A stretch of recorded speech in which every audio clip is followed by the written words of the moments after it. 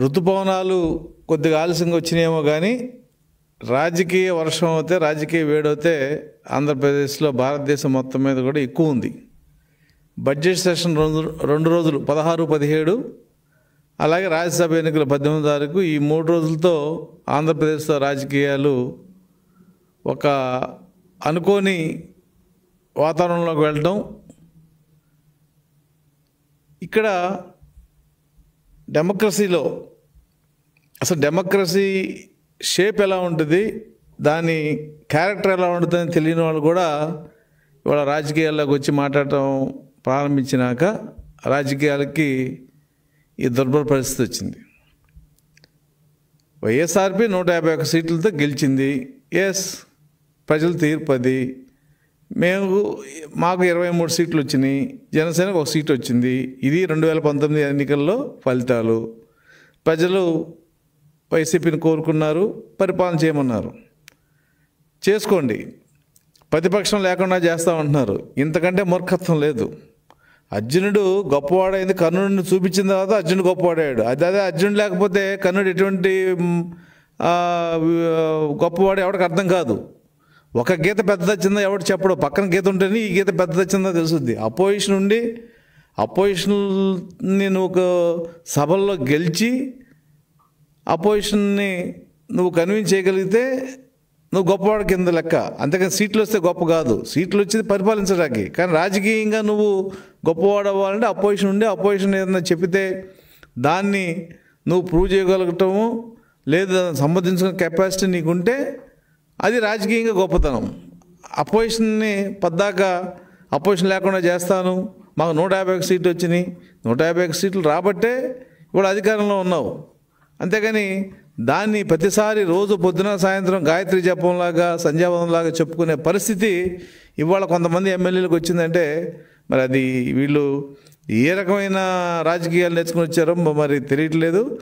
రెండో అంశం కౌన్సిల్లో జరిగిన విశేషాల మీద విశ్లేషణ చేస్తే చాలామంది సీనియర్ పొలిటీషియన్స్ ఏమంటున్నారంటే ఇది బడ్జెట్ సెషన్. పద్నాలుగు పదిహేను రోజులు జరగాల్సిన బడ్జెట్ సెషన్ని రెండు రోజులు కుదించారు అంటే కేవలం ఓట్ ఆన్ అకౌంట్ జూన్ దాకా ఉంది కాబట్టి రెగ్యులర్ బడ్జెట్ని మనం పెట్టి దాన్ని ఆమోదించుకోవడం కోసమే అన్ని రూల్స్ రిలాక్స్ చేసి ఇవాళ బడ్జెట్ సెషన్ పెట్టడం జరిగింది. ఈ బడ్జెట్ సెషన్లో రెండు రోజుల బడ్జెట్ సెషన్లో పది పదహారు బిల్స్ పెట్టారు వాళ్ళు. అంటే కొన్ని ఫార్మల్ బిల్స్ ఉంటాయి. జిఎస్టీకి సంబంధించినవి కానీ లేదంటే ఇంకేదన్నా కానీ ఫార్మల్ బిల్స్ ఉంటాయి.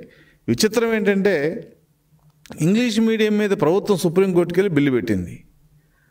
మరి ఎందుకు సుప్రీంకోర్టుకి వెళ్ళినట్టు? ఎందుకు బిల్లు పెట్టినట్టు? అంటే అధికారం ఉంది కాబట్టి నాకు మెజారిటీ అథమెటిక్స్ నాకు ఫేవర్గా ఉంది కాబట్టి నేను బిల్లు పెట్టుకుంటాను. పెట్టుకో అది వేరే విషయం. అసెంబ్లీకి నీకు ఎంత పవర్స్ ఉన్నాయో? కౌన్సిల్కి అంతే పవర్స్ ఉంటాయి. ఇక్కడ గమనించాల్సింది ఏంటంటే కౌన్సిల్ పవర్ని సూపర్ చేసే పవరు అసెంబ్లీకి ఉంది. కానీ కౌన్సిల్ ఏదైతే నిర్ణయం తీసుకుంటుందో ఆ నిర్ణయాన్ని ధిక్కరించే పవర్ మట్టుకు అసెంబ్లీకి లేదు. నేను బిల్లుని అమెండ్మెంట్ చేశాను. అవి దాన్ని నేను ఒప్పుకోవడానికి అధికారం నీకుంది. నేను రిజెక్ట్ చేశాను. నీ రిజెక్షన్ నేను ఒప్పుకోవట్లేదు ఆమోదిస్తున్న అధికారం ఉంది. కానీ కౌన్సిల్ రిజెక్ట్ చేయాలన్నా అమెండ్ చేయాలన్నా తప్పు బట్టి అధికారం అయితే కౌన్సిల్కి కానీ ఎమ్మెల్యేలకు కానీ లేదు. కాబట్టి ఈ విషయం తెలియని పరిస్థితుల్లో ఇవాళ వాళ్ళ మినిస్టర్లు కానీ వాళ్ళందరూ కూడా మాట్లాడతాం. అసలు బడ్జెట్ సెషన్ పెట్టినప్పుడు బిల్స్ పెట్టాల్సిన అవసరం ఏముంది? నీకు బడ్జెట్ సెషన్ ఇంపార్టెంటా క్యాపిటల్ బిల్స్ ఇంపార్టెంటా దీనికి ప్రభుత్వం ఎక్కడ సమాధానం చెప్పట్లా? ముందు అది పెట్టాలి ఇది పెట్టాలి. ఆయన ఫైనాన్స్ మినిస్టర్ గారు మాట్లాడతాడు అప్రాపరేషన్ బిల్స్ తర్వాత అప్రూవ్ చేయండి ముందు క్యాపిటల్ బిల్స్ అప్రూవ్ చేయండి అని అంటాడు ఆయన. అంటే క్యాపిటల్ బిల్స్ ముందా లేదా క్యాపిటల్ బిల్స్ ఆగిపోతే ఏమైనా ఉపద్రవం వస్తుందా? అప్రాపరేషన్ బిల్ ఆగిపోతే ఉపద్రవం వస్తుందా? అప్రాపరేషన్ బిల్లు మేము కనుక అంగీకరించకపోతే పద్నాలుగు రోజుల తర్వాత ఆటోమేటిక్గా అప్రూవ్ అవుతుంది. అది నీకు తెలుసు. రాజ్యాంగంలో ఉంది. అయినప్పుడు అసలు భయం ఎందుకు నీకు? ఎందుకు నువ్వు అప్రాపరేషన్ బిల్ మీద పట్టుబడాల్సి వచ్చిన తర్వాత పెట్టండి ఆఖరిలో పెట్టండి అంటే ఆయన ఇంకొక విషయం చెప్తాడు. బడ్జెట్ సెషను అప్రాపరేషన్ బిల్లుతో క్లోజ్ అవుతుంది సాంప్రదాయం అన్నాడు. ఏ సాంప్రదాయం నువ్వు ఫాలో అయ్యావు? హౌ లీడర్ ఆఫ్ ద హౌస్కి వెళ్ళగలుగుతాడా మినిస్టర్లు వెళ్ళగలుగుతారా పద్దెనిమిది మంది మినిస్టర్లు కేకలేస్తారా? ఇవన్నీ సాంప్రదాయాలా? ఈ ఈ రాజ్యాంగంలో ఉన్న చట్టాలని నువ్వు చదివినప్పుడు ఆ చట్టాలు నీకు కూడా వర్తిస్తాయి కదా? అంటే ఆ రకంగా కౌన్సిల్ని జరగనివ్వకుండా ఆ అపవాదు తెలుగుదేశం మీద వెయ్యాలని ఒక ప్రయత్నం చేశారు. ఆ ప్రయత్నం మరి వాళ్ళతో సక్సెస్ కాలేదు. మరి అది ఆ రకంగా కౌన్సిల్ సమావేశాలు ముగిసిన తర్వాత పద్దెనిమిదో తారీఖు రాజ్యసభ ఎలక్షన్స్. తెలుగుదేశం ఓడిపోయింది. ఎస్ తెలుగుదేశం ఓడిపోద్ది. తెలుగుదేశం ఎలా గెలుస్తుంది? ఇరవై మూడు సీట్లతో. మా ఇరవై మూడు మేము ఓట్లు వేసినా మాకు రాజ్యసభ సీట్ రాదు. వాస్తవం. ఎందుకు కంటెస్ట్ చేశారంటే ఎన్నికలు అనేవి ఒక ఎక్సర్సైజ్ లాంటిది. మన శరీరానికి ఎక్సర్సైజ్ ఎంత ఆరోగ్యంగా ఉంటుందో ఎన్నికలు కూడా పార్టీ వ్యవస్థను అంత బాగు చేస్తాయి. ఒక అలర్ట్నెస్ తీసుకొస్తాయి. ఒక యూనిటీ తీసుకొస్తాయి. కరెక్షన్ జరుగుతుంది ఎక్కడ చిన్న చిన్న వంశన్స్ ఉంటే దానికి ఎన్నికల్లో పార్టిసిపేట్ చేస్తారు తప్ప గెలవాలని కాదు. ఈ అర్థమెటిక్స్ తెలియనంత అమాయకులు రాజకీయంగా ఎవరు లేరు. సరే ఎన్నికలు రామయ్యని ఎందుకు పెట్టారు? ఏ రామయ్య గారిని మేం పెట్టలేదు. ఆయన కంటెస్ట్ చేస్తాను. కనీసం కంటెస్ట్ చేసిన సాటిస్ఫాక్షన్ నాకు ఉంటుందని చెప్పి ఆయనే అన్నాడు. మేము వారించాం. కానీ అది లేదన్నాడు. సరే మేము కూడా రాజకీయంగా మంచిదిలే అని చెప్పి దాన్ని ఆమోదించడం జరిగింది. అంతే రామయ్య గారు గెలుస్తారని చెప్పు కానీ లేదంటే మాకు ఓట్లు సరిపడా లేవనే విషయం కానీ తెలియకేం కాదు. జరిగిన ఎన్నికలు వాళ్ళ క్యాండిడేట్స్ని వాళ్ళు పెట్టుకున్నారు మా క్యాండిడేట్ మేము పెట్టాం. ఎన్నికలు అయిపోయినాయి ఓటింగ్ జరిగింది. అచ్చినాయుడు గారు జ్యుడిషియల్ కస్టడీలో ఉన్నాడు. అంటే ప్రిజన్లో ఉన్నాడు ఆయన. ప్రిజనర్కి ఎక్కడ బ్యాలెట్ పేపర్ భారతదేశంలో. ఆ సంగతి కూడా చాలామంది తెలియదు. కొన్ని మీడియా వాళ్ళని కూడా నేను వారిస్తున్నాను. మీ మిడిమిడి అజ్ఞానంతో ప్రజలు తప్పుదారి పట్టించొద్దు. దూరమైన నాయకులు తేదాపాకి దో ఎన్ని- తేదేపా ఎన్నికలకు దూరంగా ఉన్న నాయకులు. దూరంగా ఉండడం ఏంటండి? ఆయన జ్యుడిషియల్ కస్టడీలో ఉన్నాడు. ఆయన విజయవాడలో ఉన్నా జ్యుడిషియల్ కస్టడీ సబ్ జైల్లో ఉన్నా హాస్పిటల్లో ఉన్నా ఈజ్ అండర్ జ్యుడిషియల్ కస్టడీ. ఆయనకి ఓటు ఇవ్వరు తెలుసుకోమనండి. కొంత కొంతమంది మీడియా వాళ్ళకు కూడా తెలుసుకోవాలి ఇటువంటి. మీరు ఊరిని మీడియా చేతిలో ఉందని స్క్రోలింగ్లో రైటింగ్ కాదు. కొన్ని లీగల్ ఆస్పెక్ట్స్ కూడా తెలుసుకోవాలి మీరు. ఇక అనగానే సత్యప్రసాద్. ఆయన మాకు పదిహేడో తారీఖు సాయంత్రం చెప్పాడు. సార్ నాకు దీనికి పాజిటివ్ వచ్చింది. నేను కూడా ఐసోలేషన్లో ఉన్నాను. టెస్ట్కి పంపించాను ఇప్పుడే. ఒకవేళ అదేదైనా పాజిటివ్ వచ్చి వచ్చింది నేను ఐసోలేషన్ ఉన్నానన్నా కూడా కొంచెం ఇబ్బంది అవుతుంది నాకు. మా విలేజ్లో కానీ కాన్స్టిట్యూన్సీలో కానీ. రేపు నెగిటివ్ కనుక వస్తే నేను వస్తాను సార్. పాజిటివ్ వస్తే నేను రాలేనని చెప్పి స్పష్టంగా చెప్పాడు.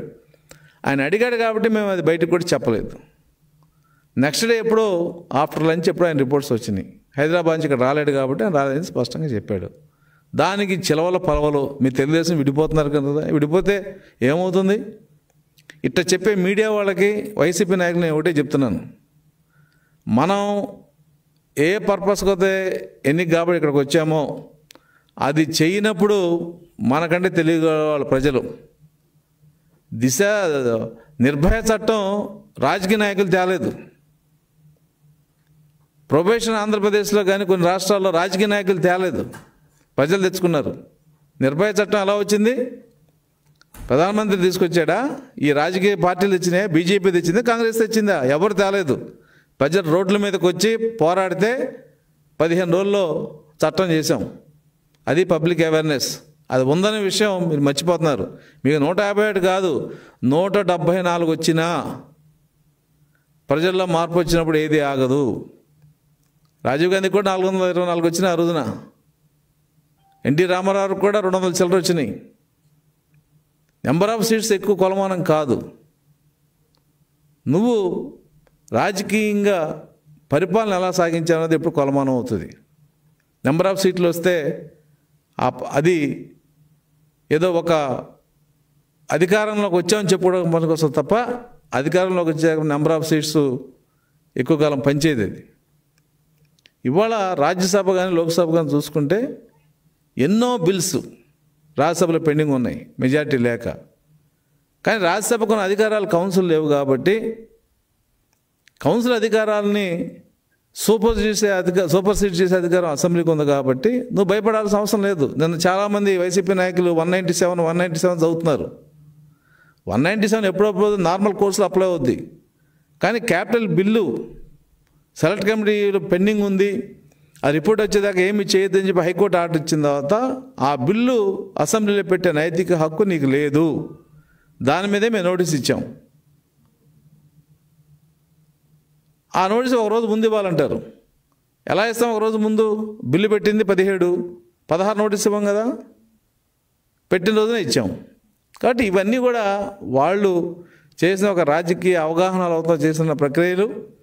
అలాగే నేను ఎన్నికల విషయంలో కూడా మేము ఎన్నికల్లో గెలుస్తామని కానీ అదేదో పెద్ద విచిత్రం జరుగుద్దని కానీ మేము పోటీ చేయలే. పోటీ అనేది రాజకీయ పార్టీలకు రొటీన్.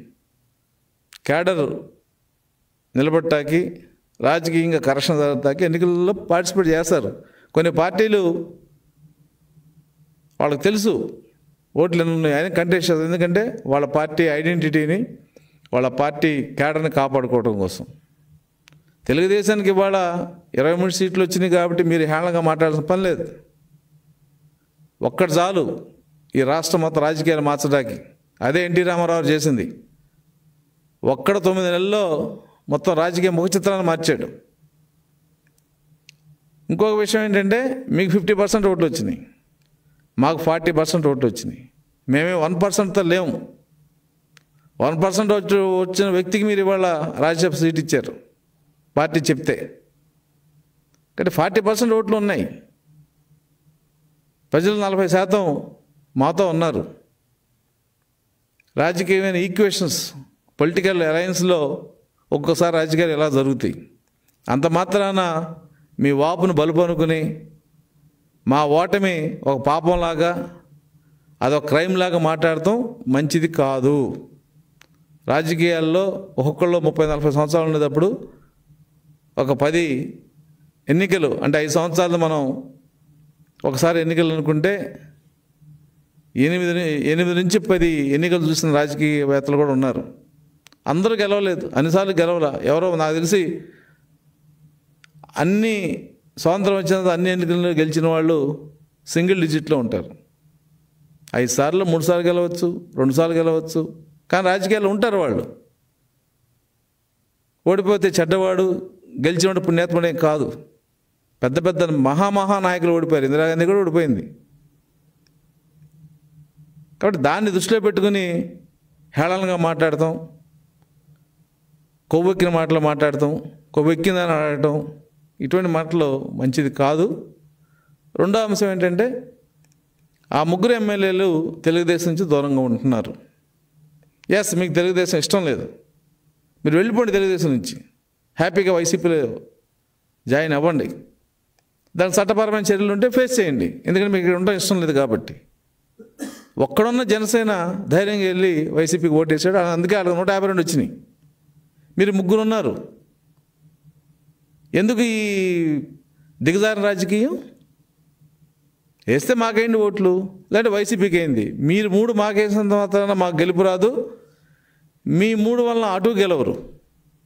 ఎటు పనికిరాని ఓట్లవి వాటిని ఇలా చిల్లరగా చేసి చేస్తే మాకు వచ్చిన నష్టం లేదు. వాళ్ళ తెలుగుదేశానికి వచ్చిన నష్టం ఏమీ లేదు.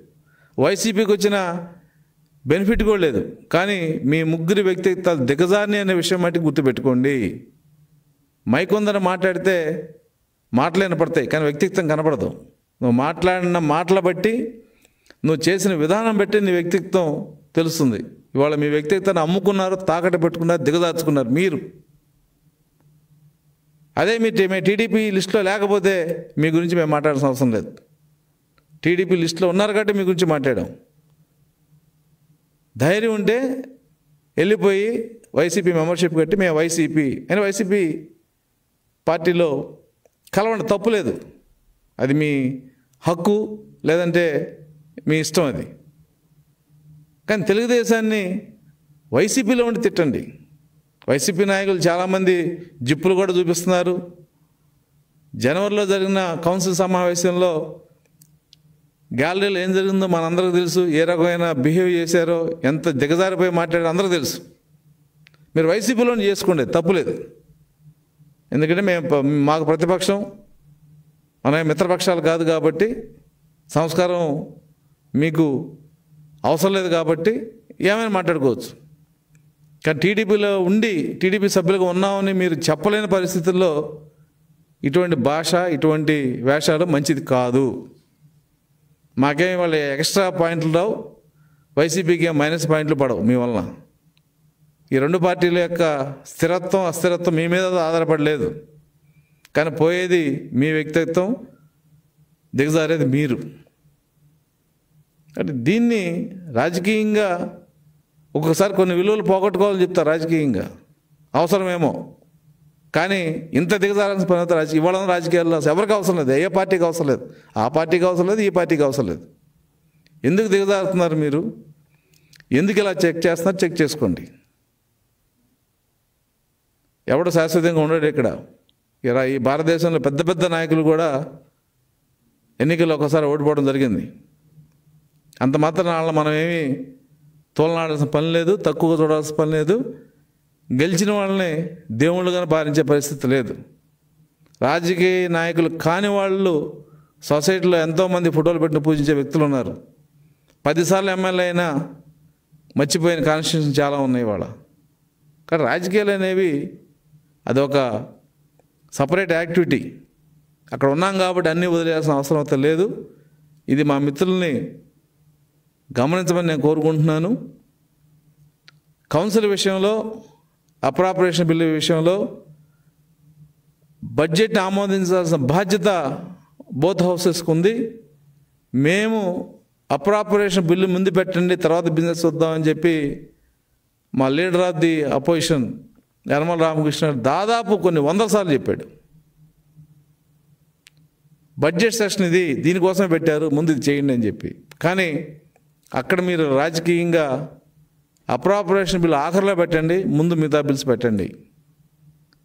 అయినప్పుడు రెండు రెండు రోజుల బడ్జెట్ ఎందుకు పెట్టా? పద్నాలుగు రోజులు బడ్జెట్ పెడితే సరిపోయేది. సాంప్రదాయం ఎక్కడి నుంచి వస్తుంది? పద్నాలుగు రోజుల బడ్జెట్లో ఆఖరి రోజున అప్రాపరేషన్ బిల్లు ఆమోదించి సభని వాయిదా వేస్తారు. పద్నాలుగు రోజులు పెడితే. నువ్వు రెండు రోజులు పెట్టావు. కరోనా పద్దెనిమిది మంది మినిస్టర్లు వీళ్ళందరూ వెళ్ళలోకి వచ్చి ఒకరి మీద ఒకరు పెడితే అసలు కరోనా పాటించాల్సింది ఎవరండి? కరోనా కరోనా అని చెప్పి మీ ముఖ్యమంత్రిగా సహజీవనం చేయమంటే బస్సు సహజీవనానికి అర్థం మాకు అర్థం కాదు. ఇప్పుడు నిన్న కౌన్సిల్ చూసినది మాకు అర్థమైంది. అంటే ఒకళ్ళ మీద ఒకటి సహజీవనం చేయటం. అంటే ఈ రకమైన రాజకీయాలు ఎందుకు తెలిసి చేస్తున్నారా? లేదంటే మీరు ఏం సాధించి చేస్తున్నారో ప్రజలకు అది ఖచ్చితంగా చెప్పాలి. రాజకీయాల్లోకి రాకూడదు అనుకున్న వ్యక్తులు కూడా ఇవాళ లేదు లేదు మేమంతా సైలెంట్గా ఉంటే ఈ వికృతం ఇంకా పెరుగుతుంది. దీన్ని అరికట్టాలని చెప్పి కొంతమంది అనుకున్న పరిస్థితికి ఇవాళ ఆంధ్రప్రదేశ్ రాజకీయాలు వచ్చినాయి.